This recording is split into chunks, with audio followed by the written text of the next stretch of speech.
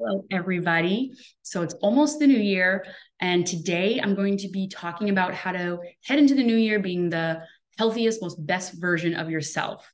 We're going to talk about how to set intentions, which is a little bit different than New Year's resolutions or setting goals, even. It's a little bit um, mystical, magical, uh, if you will as most of you probably know, I'm born on Halloween. So I love to kind of talk about this stuff.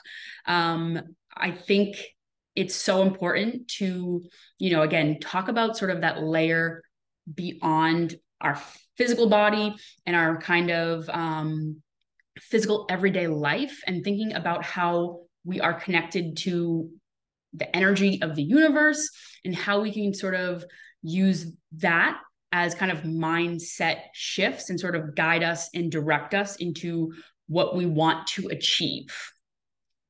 So I'm just going to share my screen.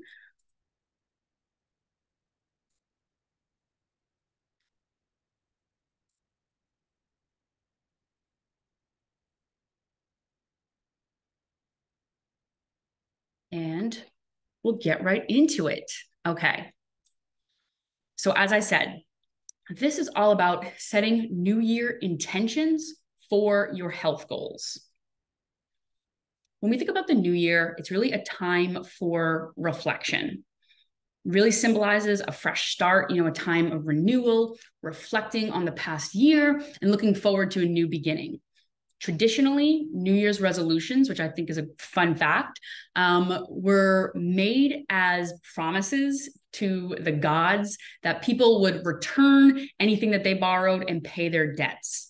Um, it has since obviously evolved into the practice of really setting goals. Um, and they tend to be more so vague. When people make kind of New Year's resolutions, they sort of say things like, I want to change my life. I want to lose weight. I want to be healthier. Um, I want to work out more. You know, these things that are very sort of vague and give us no real direction. So when we think about the differences of goals versus intentions, goals is really a description of future wants and focuses on external end results. And what intentions are, are the principles and kind of energy that guide us towards how we want to be and focuses on our internal feelings. Intention is what internally fuels our actions. Our goals are the external end results that intention carries us towards. So it's important to have both, of course. Like we want to have a goal, we want to have a, you know, end result of what we want to achieve, but how we get there is really through our intentions. And really, what intentions do is they create value. So, goals, again, are specific outcomes that you want to do. Something like, I want to run a marathon, I want to lose weight, I want to eat healthier. Intentions are those inner feelings that guide how you want to live and how you want to show up in the world oops, in order to achieve that goal. So, that's something like if you want to run a marathon, is that your kind of end result goal? Your intention will be to move my body more because you can kind of feel that. You can feel the movement of your body. Um, it's something like to embrace change, right? When we think about our goal of wanting to lose weight, we have to embrace change. We have to change our body. There's a whole cycle of change that occurs when we want to achieve or in order to achieve that. So that's really the intention is like, I want to embrace change. Um, to be kinder to myself, right? Eating healthier. I want to eat healthy. Well, what does that really mean? I want to be kinder to myself. I want to show myself uh, more self compassion. You know, I want to fuel and nourish my body. That's really the intention, being that in internal sort of guide of like, okay, this feels good to me. This feels, I feel like I'm being kind to myself because I'm nourishing myself with nutrients. So your intentions set the foundation for what you will receive back from the universe and it creates a deeper sense of presence and purpose in your life. Um, in ancient India, they have this teaching, which I think is really, really cool. Um, and they taught that personal destiny is ultimately determined by your desire, intention, will, and action. So your desire leads to intention, and intention leads to will, your will drives your actions in the world and your actions create your fate. So, again, it's that cycle of kind of understanding how you are connected to your own personal body, your own personal presence in the world, um, and having that internal guide to get you to where you want to be. So, to make changes with intent, again, as I said, New Year's resolutions and New Year's goals really are very vague. And when we try to reach a vague goal, it often feels very empty and we easily become disconnected from it and kind of fall off the wagon. You know, that's when we sort of feel that we're going through the motions, we're not really achieving anything, we're on autopilot, or even we're saying things like, oh, I'm, I'm self sabotaging. You know, why can't I just do it? Why can't I just do it? Because it's, there's no direction, there's no kind of internal guide. So, what intentions do and what making changes with intent, it raises your awareness of how you are choosing to live and show up. Um, it produces clarity. Um, and it's something you can use to recall on during times of wanting to give up during the journey. So, this is kind of a big thing. I love to emphasize this and talk about this a lot, especially in my sessions. Always having that kind of value based goal in mind, because when we're in the middle of the journey, when things get hard, when things get tough, which they will, life is not easy. Life always has hills and valleys. You're always going to be going through those things. Um, we want to be able to have something deep within us that we can recall on. And this really, having that intention really shifts your energy um, to, again, the universe, your connection to it, your connection to what you actually want and how you want to be in the world. So, how to set intentions. There's these four sort of steps, and we'll get into them. But essentially, you want to clear your space, call yourself to the present, cultivate your energy, and create alignment. This is where it gets a little bit witchy. So, bear with me. It's really fun, um, at least I think, in my opinion. But it's something that I think is going to be different for most people when they are trying to, again, create those new year goals of like wanting to be a healthier, better version of themselves. So, clearing your space. This is kind of the first step when we think about the process of setting intentions and what does it entail or look like. Clearing your space is the first thing that you want to do. So, when working, especially with energy, it's important to cleanse our surrounding environment. Um, this can mean, you know, cleaning up, right? Tidying up, folding clothes, um, you know, washing down counters or anything like that. It, it can mean that where it's like you have this, um, you know, physical clear space, but it really is something that, again, is an internal action as well. So, really, what this does of clearing and cleansing your environment um, that's directly surrounding you when you're going to set these intentions is it makes it kind of a sacred space. Um, you know, so you want to be going somewhere that's calm and peaceful, you know, in a quiet room where, you know, nobody's going to bother you, walking outside in nature, something along those lines where you feel at peace and you feel calm. There's not a lot of things going around you. So you can really sort of focus and open up. And again, work with that energy. Um, and how to do this, or essentially, after you sorry, I lost my train of thought. Essentially, after you cleanse your environment, making sure that it's clean, making sure that it's calm, you really want to envision, and you can do this mentally, you just envision sort of a circle around yourself. Um, circles, when we're again working with energy, are kind of magic or spells. Um, again, you don't have to see it that way. This is really just sort of you know practical, universal kind of things. But I think it's fun to to think of it in in that way, where it's sort of like casting a circle spell. Um, it, the circle symbolizes you know the moon cycles and the cyclical cyclical nature of life. There's always a circle everywhere you go, everywhere you see every, anything about life is a circle. So you can do something like draw it in the air um, you can use boundary items like creating a circle, you know, again, using salt, obviously that's like really witchy, um, but something like putting ribbon around, something like putting, you know, yoga blocks in a circle, something that sort of symbolizes that, whatever that means to you. Again, it can be anything as long as you visualize and you understand that there is a circle around you. And really, what this does is kind of signals to the forces of the universe that you're ready. You're ready to be focused, you're ready to be present, present, and you're ready to sort of set those intentions. This is kind of an extra if you're really into witchy stuff. But what you can also do after you sort of create that um, circle of like calm, peace, and readiness, you can sort of call to the four corners of the universe energy. And that's, again, a little bit more elaborate. You don't have to do this step. I just think it's sort of fun. What it really does kind of helps to orient the orient the midpoint of you know global energies that are all around you in the world in the universe. Um, you know thinking of kind of a center of a compass right? The center of a compass it draws energy in and it radiates energy out. So that's essentially what you're doing when you're calling on the four corners. And how you do this is that um, you would, or basically what it does is kind of announce your presence, right? So drawing that circle or envisioning that circle is really kind of a signal. But when you're calling the four corners, you're using your voice to sort of say, hey, I'm here. And also to say thank you to, you know, the energies all around you. Sometimes I like to think of, um, you know, again, spirits that might be with you. I often think of my grandmother when I think of this and kind of I always feel her presence around me. So I think like, you know, I want to say thank you for being here. Thank you for protecting me. And you can sort of announce and say something like hello to the energy of the self, powers of fire and feeling. Thank you for your protection.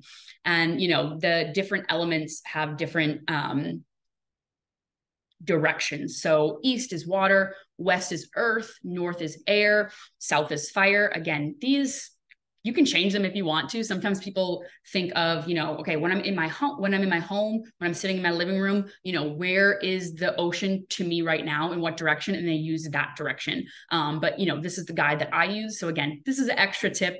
It's a little bit more witchy but i think it really sort of helps to again signal and announce your presence that you are serious and you are ready to sort of work with that energy around you the next step is to call yourself back to the present. What this does is creates a state of self awareness. So, what you want to do is take deep breaths and invite yourself to be here and now. And you really want to be self compassionate with this. Oftentimes, people um, struggle with this, struggle to be present, and it really is a practice. It's something that, you know, if you're doing this for the first time, it might feel your mind's racing, your mind's going elsewhere. Um, and all you have to do is gently call yourself back.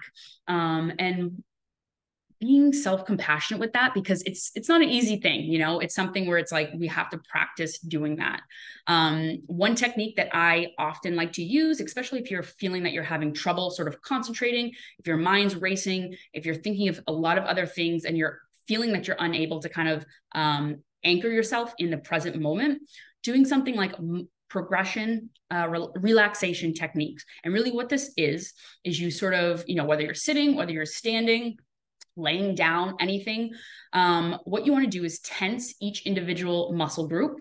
Um, you know hold it for five to ten seconds focus on what that feels like and then let the muscle go and then notice the contrasting feelings. So it's like you know example you can flex your bicep you can hold it for five seconds release it notice the contrast, contrasting feelings because that allows you to say, okay, this is what tense feels like. This is what relaxation feels like. You know, it kind of just, again, gives you that self awareness. So that's a technique that you can use to sort of call yourself back into that now present moment. I'm here. Other things you could do something like, you know, touching your body, touching sort of physical things around you. Um, that could be help sensory based.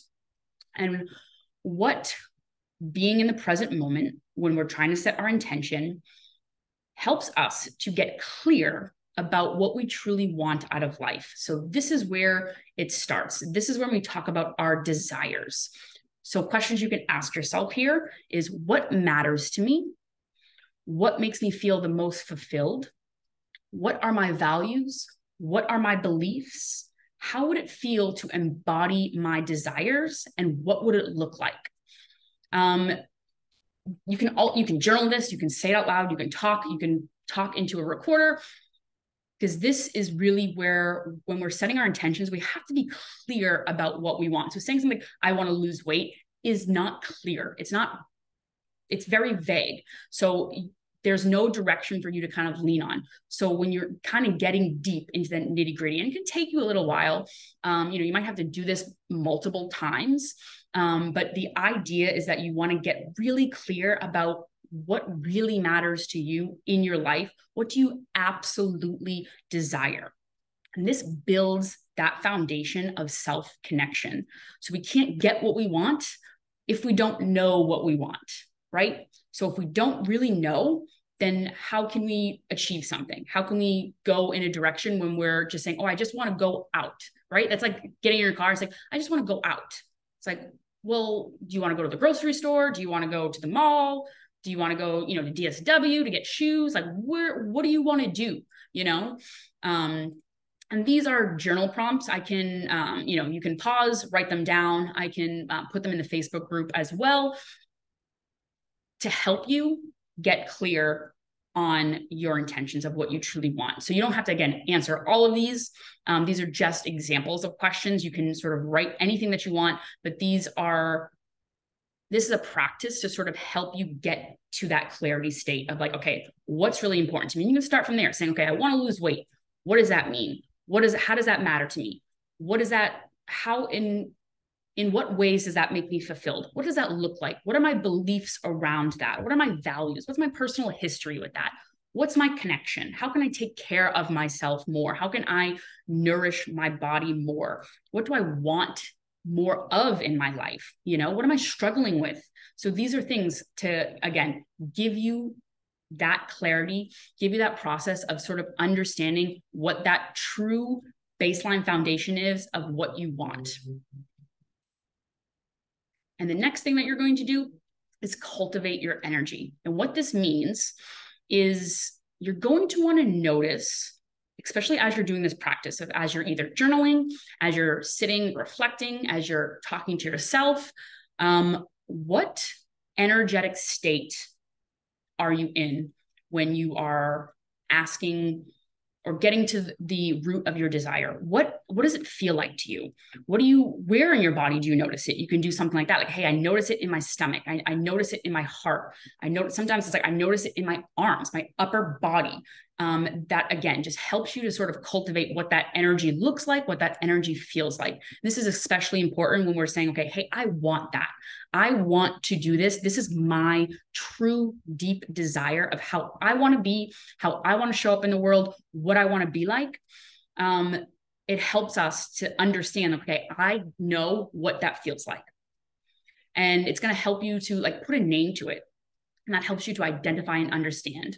Um, so now that you know what you want, right? You created that clarity and you ask yourself how you are currently matching that with your energy. So reflect, these are questions that you can use again, journaling, saying out loud to yourself, just in your mind, self talk.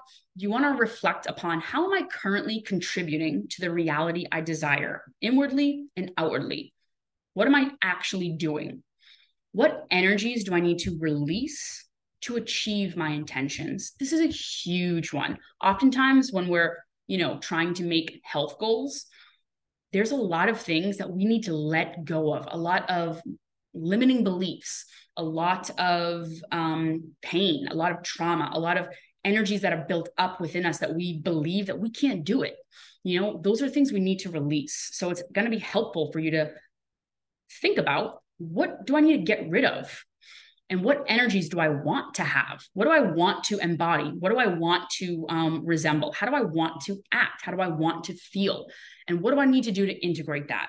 What does it look like to be that person that I have in my mind? And again, this is a process, and you're want you're going to want to actively choose nourishing, compassionate, kind thoughts and attitudes, beliefs that support your intentions. Oftentimes, when we're thinking about these things, like, hey, how am I, sh- what am I doing right now? What are my actions? We tend to have a negative um, self talk where we sort of kind of beat ourselves down. It's like, I'm not doing enough. I'm not being enough, or I'm doing this wrong. I'm failing. I'm not living up. And it's natural and normal to have those type of thoughts. But what you want to do, like, you're not going to stop them from happening. What you want to do is don't accept them let them pass through your brain and accept the things that are kind, accept the things that are compassionate, and accept what is going to nourish your intentions. And this is just a diagram um, that I took from uh, Susan Davis, uh, David. She's made this book called Emotional Agility. She's awesome. Um, but this these are kind of terms that you can use to help identify that energy or those feelings when you're kind of going through this process. So instead of saying, okay, I feel sad, right? That's just an umbrella term. Sad is an umbrella term. What do you actually feel? Do you feel disappointed? Do you feel um, you know, disillusioned? Do you feel regretful? Do you feel tearful? Or if you say, I feel embarrassed, it's like, well, is that self conscious? Do you feel inferior? Do you feel less than? Do you feel ashamed? Um, so, again, these are things that take a step further of really helping you identify what that energy that you're feeling um, when you're going through this process of like getting that clarity, setting those intentions, um, you know, opening up your space it's going to have a lot of feelings. You're going to want to tap into what these mean to you and really get down to like what exactly am I feeling and what does that look like? Putting a name to it. And these are helpful terms that you can use. And the last step is that you want to create alignment. So again, you establish what you desire, you've got that clarity, you feel what energy it matches, you know what it feels like, you know what it looks like to you, you can feel it in your body, you can feel what it makes you feel when you think about it. And now you put it into action. So essentially, aligned actions are your intentions in motion. So that's the reality. That's this is where we take, you know, the universe, the energy, the magical, witchy, mysterious kind of things that we're talking about, and we put it into real life. So you want to spend your energy on actions that bring you closer to your intentions. And you can check in daily with yourself by asking, does what I'm thinking or doing align with my desire? Is this going to help me get to where I want to be? So if we want to say I want to, you know, achieve a healthy weight and we're beating ourselves up every day and we're putting this pressure on ourselves and we're being mean and unkind and, you know, not supporting ourselves, is that really going to get us to that goal? Or is that going to get us further away from that goal? That's not really aligning. Those thought that thought pattern is not really aligning with what we desire. We desire to be kind to ourselves. We desire to nourish our body. We desire to live a long, happy, healthy life. And is thinking negatively, is beating ourselves up, is that working? Is that aligned with what I truly want to be or the person that I truly want to be in this life? Um, and again, having these intentions is really your guide as a point of awareness by which everything else becomes a contrast. This is my favorite, favorite thing. And this is really what makes setting intentions special because, again, it gives us that point of awareness. So we can say, yes, this is helping me, or no, this is hurting me. Everything else becomes contrast. So you can sort of use that as a way to compare how you're doing, how you're feeling, and is it guiding you in the right direction. And as I emphasize it's a practice, it's a process. So gently bring yourself back to the present and realign as many times as you need to. This is not a one and done. This is an everyday kind of thing. You can do it formally once and have it written down. And then, you know, again, you don't have to sort of set up that every single time. You can do, you know, something that as long as you mentally feel that, um, or understand that presence of like you you working with your own energy you can kind of do those daily journal prompts those daily asking yourself questions and checking in with yourself. Um, and it's very normal that like when we feel that we have strayed at all throughout the journey just bring yourself back to the present. You know use these tactics. Tense up your muscles. Use the progression relaxation techniques of like creating that awareness of like okay let's what does this energy feel like? And how is it guiding me? And realign you made, you know, you took a step left and you wanted to take a step right, call yourself back, realign. It's that simple. Because the more conscious you are of your intentions, the easier it becomes. Um, and again, intentions are flowing. As I said, this is really an everyday type of practice. Repeat the process of creating awareness, um, you know, calling on the energies, clearing your space, um, and putting your aligned actions into play whenever you feel called to and do do it in a way that feels right to you. Again, this is not something that you have to do step by step. This is not rigid. It's very much a personal internal thing. And this is what's going to make the difference in creating vague goals or things that you want to achieve versus actually living your life in a way that's going to get you to achieve those. So, again, have fun with it. It's supposed to be kind of, um, you know, a very personal thing. So, do it in a way that makes you feel special and makes you feel happy and healthy because again at the end of the day it's really what's the most important piece i like to sort of think of myself as like okay i'm creating a spell i'm casting a circle i'm calling the energy just because i think it's a fun process and it is something that helps me get to that point of understanding the present and the now moment and tapping into how those energies feel. And I use this as a guide. So whenever things pop up in everyday life, I can say, okay, does this action align with what I truly want? Because I'm very clear about what that intention is. So, again, I hope you guys have fun with this. Um, and I hope you have a healthy and happy new year.